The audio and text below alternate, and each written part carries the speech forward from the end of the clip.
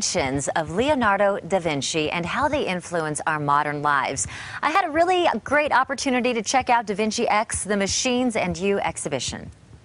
Leonardo da Vinci is one of the most well-known artists in the world, but he's also an incredible inventor. Here inside the Da Vinci X exhibit, you get to walk in his shoes. Joining me now is one of the curators, Mark Rodgers. Buongiorno, Hi, Mark. buongiorno. Thank you so much for coming by today. That accent is so good. Uh, we get to walk in his shoes, and I know this is one of Da Vinci's most famous creations. What are we looking at here? Yes, he, Da Vinci had over 44,000 inventions, of which only 14,000 survived. This is his portable bridge, and actually, you get we can put it together here at the exhibit. Want to help put it together? Well, I do see that you have this, and I know families can come in. This is a very interactive exhibit. So tell us about how you're putting this together. Yes, we, um, it, it, it's very easily. Da Vinci said the simplest design was the most elegant, and here you can help me.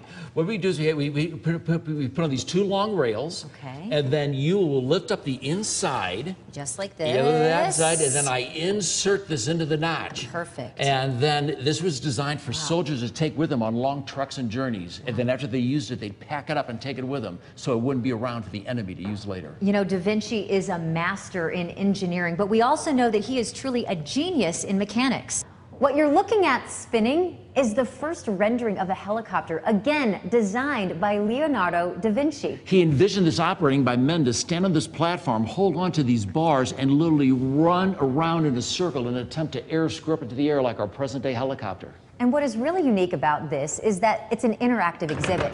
So Da Vinci was one of the first to create the gear. He's also behind what we know as the flywheel.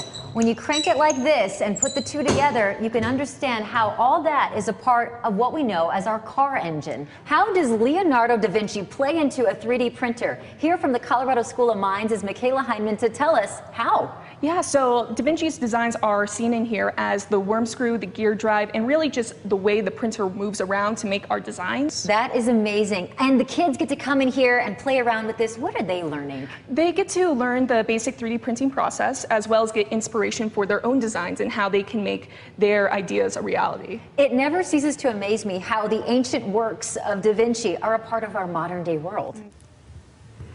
The Da Vinci X exhibition will be at the Denver Pavilions for the next six months, and we do have information about admission fees and special performances on our website, cbsdenver.com. How cool is that?